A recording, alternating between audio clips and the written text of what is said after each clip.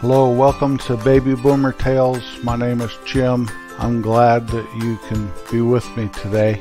You can find us on the internet at babyboomertales.com. There's a link there where you can follow us on Twitter. There's also a link to our shop Tales on Amazon store where we give you great suggestions on what you can purchase through Amazon, including barbecue sauces from around the United States. Go ahead and click the link and see what you think. Thank you for browsing. Please come back again. On February 20th, 2019, we did a podcast. It was episode four. It was called Saturday Morning Cartoons. That podcast covered when I was a child getting up on Saturday morning and having sugar cereal and sitting in front of the TV for hours, watching the likes of Augie Doggie and Doggie Daddy, Quick Draw McGraw, Huckleberry Hound, Yogi Bear, the Flintstones, the Jetsons, Bugs Bunny and Woody Woodpecker, Rocky and Bullwinkle, and more. I'd sit there for hours and hours and look forward to Saturday mornings all week long. What I didn't talk about on that episode was Saturday morning shows that were not cartoons, so I thought I'd cover those today. The list is not as long as the cartoons, but let me start with a Western, and there were a lot of Westerns, just like on prime time, there were a lot of Westerns in the 50s and early 60s on Saturday morning. First one, The Roy Rogers Show, ran from 1951 through 1957. We had Roy and Trigger and Dale and Buttermilk, their dog Bullet, and the guy driving the Jeep was named Pat. From 1949 to 1957, the Lone Ranger rode with his faithful Indian companion Tonto. I don't think the Lone Ranger could have made it without Tonto. Hi-Yo Silver, away! That white horse would rear up, and the ranger is hanging on for dear life, waving at us as he rode off into the sunset. From 1951 through 1958, The Adventures of Wild Bill Hickok. Wild Bill and Jingles. Jingles was played by Andy Devine. From 1947 to 1960 is The Howdy Doody Show. Buffalo Bob Smith, Howdy, and Clarabelle the Clown, among others. Clarabelle was played by a guy named Bob Keeshan, who later became Captain Kangaroo. From 1954 to 1957, the show was called Annie Oakley. It is set in the western town called Diablo. Is Annie and her little brother Tagg. Sky King ran from 1951 through 1962. Sky and his airplane. From out of the clear blue of the western sky comes Sky King. From 1955 through 1960, Fury Fury was a horse, and he had to save young Joey too many times to count. He was kind of like Lassie, only he was a horse. Peter Graves, better known for his role in Mission Impossible, was in that show. 1955 through 1958, Sergeant Preston of the Yukon. Well, this is a western set way up north in Canada with a Mountie dressed in red with his flat brimmed hat. His horse was named Rex. His dog was named Yukon King. And the last one I have here, it was a short list. There may be more shows that were syndicated, maybe reruns. They were no longer on a network, so they end up on Saturday morning. But this one, Watch Mr. Wizard, 1951 through 1965. He had a long run. He would show us how to mix chemicals together and whatever. Mr. Wizard. TV when we were a kid was an amazing thing, and Saturday morning was almost like a holiday every Saturday. We don't see that now. I do not know if they have special Saturday morning cartoons anymore. There's so many cartoons and cartoon networks. It was a special time for anyone that's a baby boomer, at least. Now, for a short story called Making Forts and Avoiding Lava. When my brothers and I were very young, and my parents just built our home up on the hill. We lived in the basement for years before they got enough together to build the upstairs. And my brothers and I shared one little small bedroom downstairs. And then the other bedroom was for my folks. And I think that if my sister was born before we moved upstairs, she had to stay in my parents' room. But John and Don and I shared a bedroom, and we had two sets of bunk beds in the bedroom.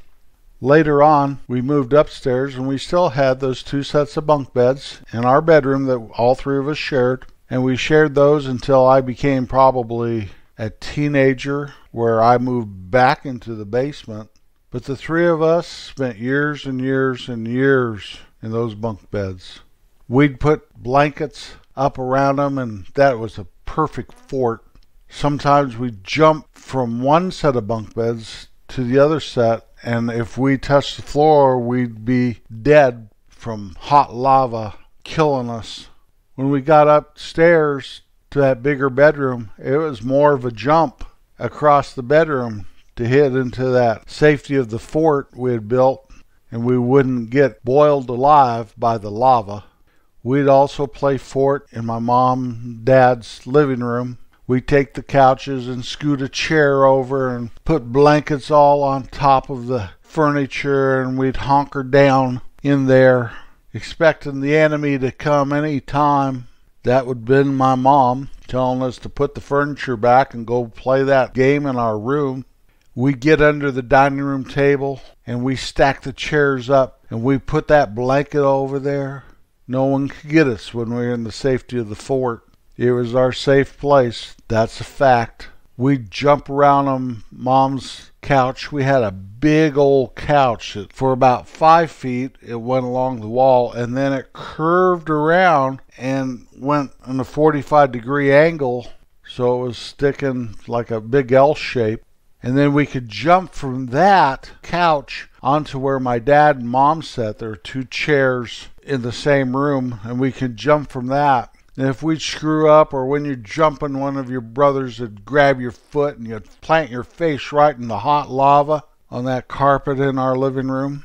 And the other two brothers would just laugh and think that was so funny. And here you are, ah, ah, I'm boiling, I'm melting, I'm dead. Or something like that, you know. Sometimes we'd pull a chair over so we could maybe jump onto that and jump onto another, like a dining room chair, trying to make it to the recliner. Make no mistake about it, you could fall into the lava without your brothers pushing you, though, if you just weren't paying attention. See, really, I had to watch that lava. Maybe you could get back to the safety of the fort if you could jump real good and mom didn't walk into the room and ask what the heck you were doing. Weren't you told to go into your room and play that game? Something like that. Mom was pretty tolerant of us. I think we overwhelmed her most of the time on deals like that if it was a rainy day or middle of the winter. When it's 35 below outside, she really didn't push us outside, but she didn't stop us if we wanted to go either. I don't know what kids do today. I very much doubt if they play hot lava and fort. But I do know if you give a small enough kid a big box, he can play with it for hours. Video games and television and computers have really taken a lot of the excitement away from such activities. I guess it's more fun to push a joystick and have Mario trying to jump over the lava than you doing it yourself. I don't know if I was a kid today, if I'd rather jump or push a button and see how far I can make the little character on the screen jump. I'd probably be like the kids today. But there's nothing quite like getting together with you two brothers, figuring out a game plan, finding some blankets that aren't on everybody's bed so you can use them, grandma's Afghan, all that stuff, building forts that couldn't be brought down by the biggest enemy the world has ever known, and then venturing out and trying to avoid falling into the abyss. It was great fun and it stretched our imaginations and it helped us grow and it helped us participate in such a wonderful childhood. I wouldn't trade it for all the tea in China. I wouldn't even trade it for all the coffee in the grocery store.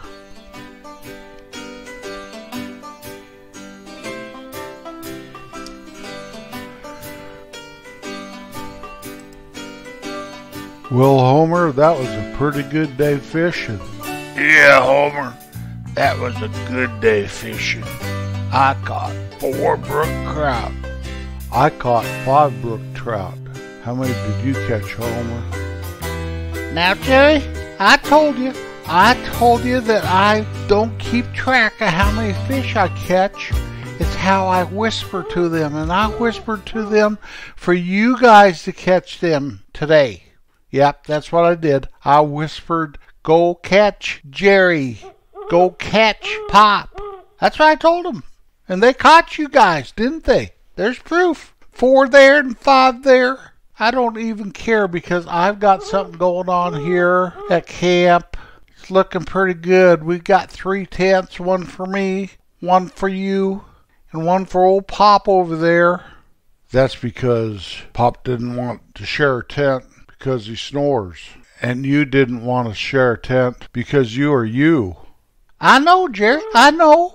And I like to not share a tent unless Katie's here camping, which she does not want to have any part of camping up here, up in the hills here, where it's nice and cool and the stars shine. She likes to go camping in those places where you hook up a motorhome and have showers and stuff, not bathing in a creek. Are we gonna bathe in a creek, Jerry? Homer, come on.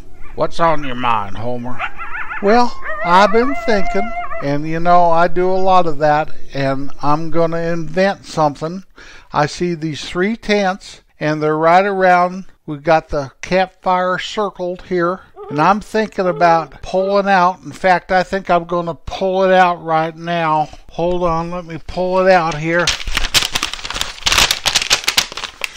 Homer, the- What are stop! you doing? Homer. What are you doing? Stop! Homer, stop it! Stop it! Stop it! Okay, okay, okay. That's enough. Why did you pull that big old tarp out, Homer? Well, it's like this. We're going to put it on top of our tents, and we're going to stick this big old lodgepole stick in the middle of it, and we're going to incorporate all three of the tents, and we're going to make a fort. Going to make a fort. Remember when we made a fort when we were kids? That's what we're going to do. Homer, you've lost your mind. No, Pop. No, I'm serious. This would be fun. We'll be all like included and stuff. And when I get back to some city, I'm gonna put it down on paper and submit it for a patent. What are you talking about a Patent. This is a tarp you try to put on top of a campfire and some tents. Homer, leave me alone. I want to cook my fish. Yeah, Homer. What are you thinking? Disrupt our whole campsite? Don't you remember, Jerry, when you were a boy and you played fort with the blankets? I do remember that, Homer. I remember that real well, and I don't want to play it today. Okay, you guys win. Is there any grape Nehi in that cooler? I'd like to have a grape Nehi. Homer, I think you probably need something a little stronger. Three grape Nehis coming up, Homer. I'm sorry we're not going to use your tarp for that, but if it starts raining, you can put that tarp right over your tent so you make sure you don't have a leak. Guys, can I have a fish for dinner? I hate to just have to have these beans. Homer, you can have two of my fish. That shows you what kind of a father in law I am. Share my fish with the guy that wants to cover my fire. You know, guys, I have fun when I go fishing with you guys. You never know what you're going to pull. Us pull, Homer. Homer, we never know what you're going to pull. Ever. Isn't that right, Sparky? Well, that'll about do it for this week. Thank you for traveling along with me. Glad we didn't fall into any lava. Always remember that kindness is the single most important act you can show to another human being. I'll be back next week.